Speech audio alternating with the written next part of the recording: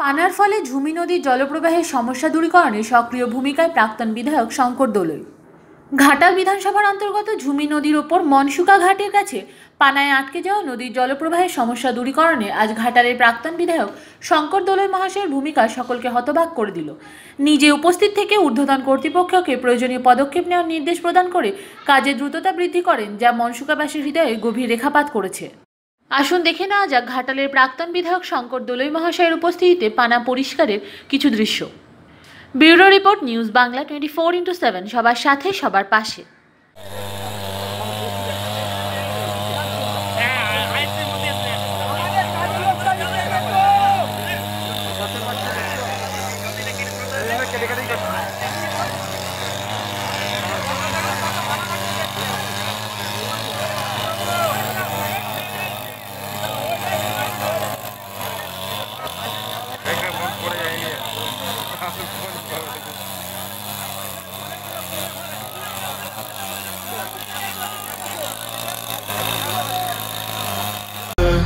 Caught in the crossfire.